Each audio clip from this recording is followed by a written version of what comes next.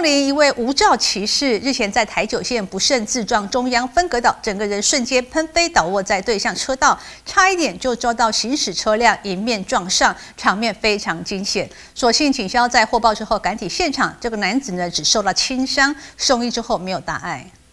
日正当中，交通顺畅，一辆轿车行驶在内线车道，刚过红绿灯时，前方突然有个物体从分隔岛的另一侧飞进自己前方。轿车驾驶大受惊吓，赶紧减速。原来这庞然大物是一名机车骑士，所幸轿车驾驶眼疾手快，成功刹车停下。警消获报后也赶紧抵达。有，好。三月一号下午一点左右，在花莲县凤林镇台九线两百二十点五公里处，一名三十二岁的陈姓男子骑机车自撞分隔岛，整个人喷飞到对向车道，差点被碾过。他的身体有多处擦挫伤，骑的白色机车则在撞击瞬间倒地，左后照镜断裂，零件四散，与分隔岛强力摩擦，导致机身左侧出现明显刮痕。疑似未注意车前状态，发生自撞中央分隔岛。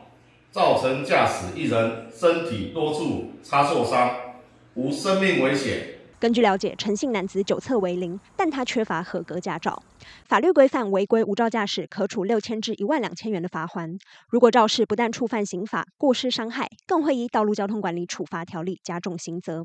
陈姓男子躲过死劫，目前已经没有大碍，但违规无照驾驶，罚则肯定躲不了。